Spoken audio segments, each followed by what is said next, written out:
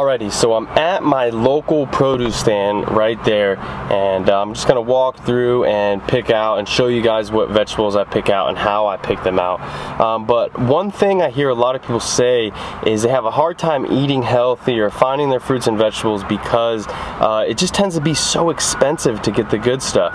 Um, and what I found is if you look for like a local produce stand or even like a local farmer's market, farmer's market, the prices tend to be so much better and they actually uh, sometimes uh, will end up sourcing the foods from more of a local area and actually the more local that your food is that you're eating the more nourishment it will actually give you. Uh, so yeah I'll walk you through the local produce stand and show you what I pick and uh, here we go. So I'm in my local produce stand and my main goal is to search around and walk through this whole place and literally just pick up the things that I uh, maybe know what they are and just know that they tend to hold the most nutrition in the actual foods. Now if you're a good cook or know how to combine a bunch of different varieties of foods into something delicious that's even better. I have no idea how to cook nor do I really cook ever. I literally just grab as much raw foods as possible, throw it in a blender and uh, there's my first meal for the day. More variety of the fruits and vegetables. Each different fruit and vegetables kind of helps the function and helps heal and regenerate a different part in your body. So I'll definitely try to just look through and find the biggest variety and with the most nutrition. So here I go. First things first, you gotta get the bananas. I actually have these growing in a few different flavors, but they're just not quite ready yet, so we're buying them at the store. And gotta get the honey bells just because these are delicious and I'll eat these any time of the day. So we all know how much nourishment and nutrition that the kale has. Notice how dark of a green the kale is compared to say just some regular green leaf lettuce. It's just not as dark, which uh, it's not always, but usually a sign it just has less nourishment. And I'm not a specialist or a dietitian in any way. So I like to keep it simple, grab the dark food. So there's some kale, and here's actually some flowering kale, which is pretty cool. It just comes in different colors. Bring in a more variety. Like I said, the more variety, the better. And spinach, throw that in there too. As you can see, there's different colors of the fruits and vegetables, and what I'll look for is I'll look for a nice deep color. So I'll take this purple, what they call red cabbage, and see how it's nice and deep purple, which is usually a sign that it holds a lot of nourishment, um, as opposed to something like this that uh, is very light, may not hold as much nourishment in it. So, boom. Grab some Swiss chard. Notice it's got a nice dark color to it. Good sign. The celery, I always try to grab the darkest one. Don't know what that is, don't know what that is. Bok choy, heard of that. And it's a dark green. Heard of the bok choy and it's a dark green, so I'll grab that one.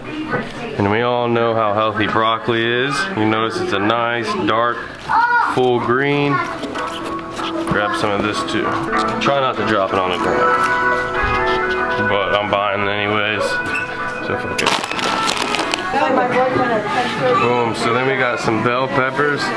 I like it, more variety of colors. You got your yellow, you got your mix, you got your orange, you got your red, and you gotta get some cucumbers as well. That's the variety we're looking for. All right, had to put the camera down to get the bags, but you can see, got some nice cucumbers, and each one of the different colors of the bell peppers as well. And I don't know what all these are, but I know they're loaded with the nourishment. So the turmeric right here, this right here is the money.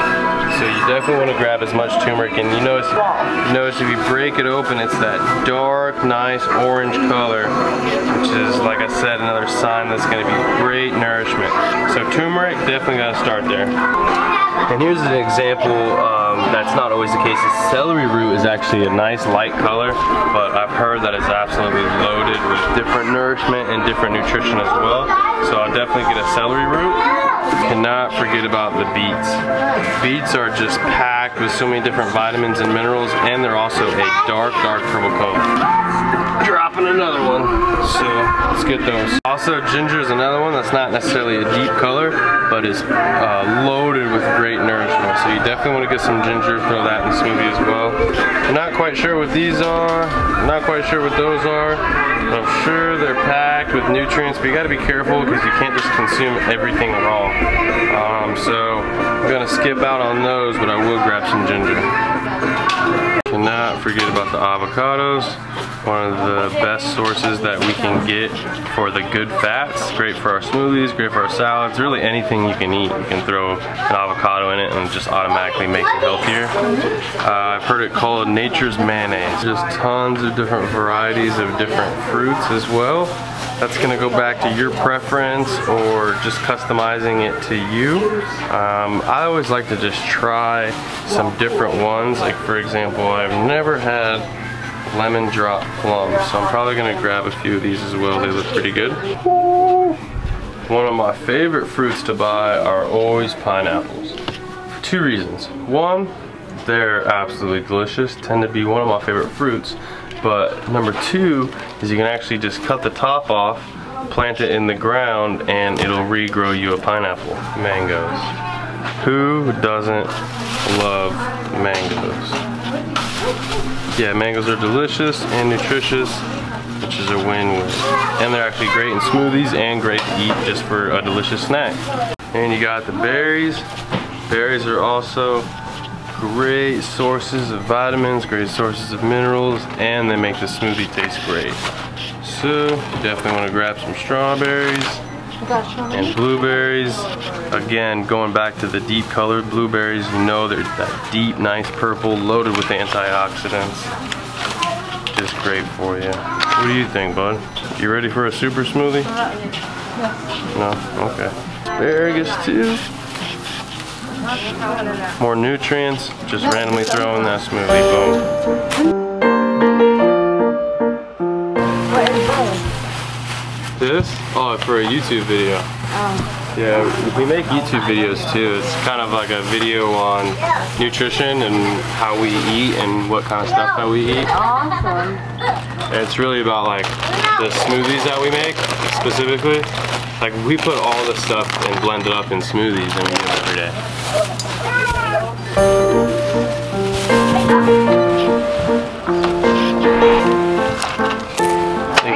Thank you. Have a great day. You too. 70 something bucks later, loaded with vegetables for me and my roommates for the week.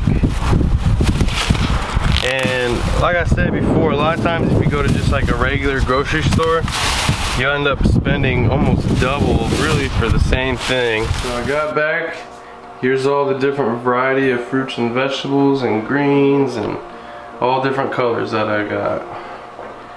And pretty much I'll use all this at one time or another to throw in the blender for the smoothie. And even if I'm not trying to make a smoothie, I could again just cut this up raw, put it in a bowl, throw some rice or some quinoa and a good dressing, and then I got a super salad as well. Now it's time to actually make the smoothie. Pretty simple. Water first, then put your fruits, then your vegetables up at the top, and that's what's gonna get that blended nice and smooth. Got the water in there, but sometimes I'll use almond milk, but I actually just forgot it today at the grocery store. So we're just using water, that works fine. And start by putting the blueberries in. And these are always better frozen. Um, they kind of work as an ice cube. And you're getting all the nourishment from the berries as well. I'm not perfect on this, but what I try to do is definitely more vegetables than fruit. Um, you want it kind of 80% vegetables and only 20% fruit. But it doesn't have to be. If you want a little bit more fruit, throw a little bit more fruit in there. It's no big deal, but you definitely want to make sure the bulk of the smoothie is your vegetables. You got turmeric and ginger. Like I was saying earlier, that dark color is what you want to look for. That means that's a good sign that it's loaded with uh, some good nourishment.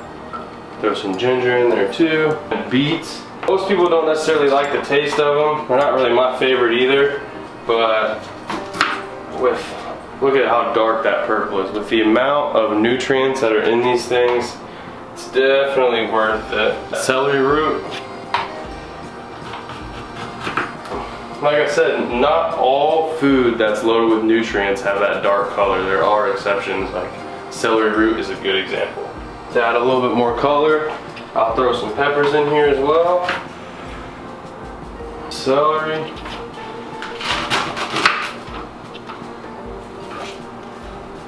I'm just gonna grab a bunch of the greens. So we have some kale, Swiss chard, bunch of different greens. You got your broccoli, and even some asparagus. That one's for David.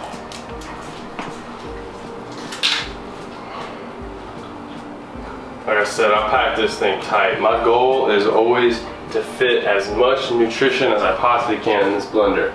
So we're gonna blend it up a little bit to get a little bit more room. The cinnamon is a kill two birds with one stone. It's not only really good for you, it helps your metabolism, but it covers the taste of maybe the vegetables that you don't like so much, like the beets. And you could definitely get better peanut butter, but nobody's perfect. So I did get some Skippy. And the peanut butter is also great to just add a, some more good fats in as well as it just makes it taste delicious. So.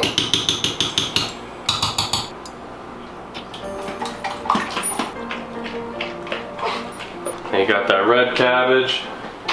Again, just adding in that more color, more different variety of uh, foods and colors that you're gonna get, it just helps a different system uh, function and heal in your body. Some grass-fed whey protein. Not only gives you just a little extra protein, but actually makes it taste even better. And there's actually a secret ingredient as well. If you don't have the secret ingredient, it's okay, it's not a big deal, but it's always a, a, a huge plus or benefit if you are actually growing anything in your backyard because like I said earlier in the video, the closer that that food is actually grown to where you live, the better it is for you and the more nourishment it can actually give you. We're actually growing what is called a miracle tree or a moringa tree, which is supposed to be like pound for pound one of the most nutritious leaves on this earth. It's got all the calcium, it's even got protein, vitamin A, B, C, D. All I gotta do is just take the leaves and pull. Really can't get more nourishment than that right here.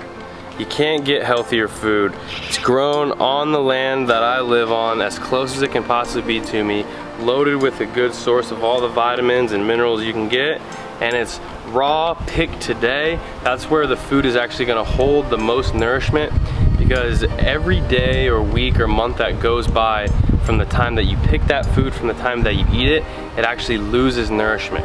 So food is gonna have the most nourishment possible when it's actually picked that day and grown, like I said, as closest to where you live as possible. Also, one of the best things to throw in there as well is an avocado, but avocados aren't quite ready yet, so we're gonna have to wait on these.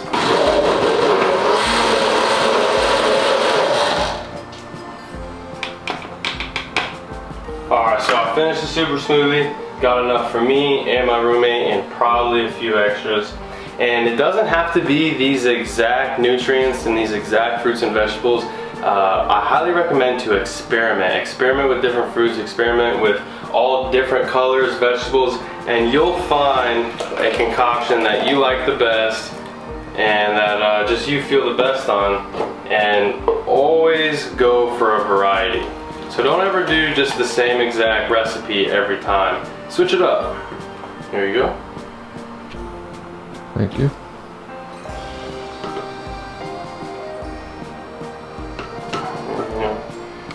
Good to go.